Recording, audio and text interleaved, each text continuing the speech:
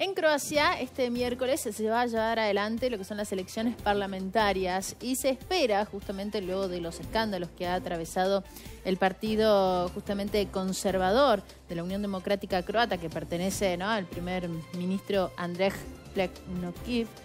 eh, que no les vaya bien, como lo esperado.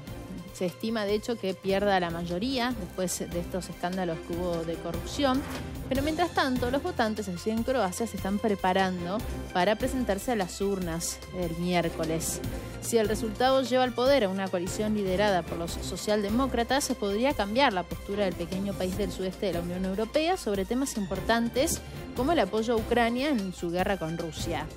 El principal rival de Plenkovic, el presidente Zoran Milanovic, que dijo que dimitiría para convertirse en jefe de gobierno si gana su partido socialdemócrata, se opone a la ayuda a Ucrania a diferencia de la mayoría de los Estados miembros de la Unión Europea.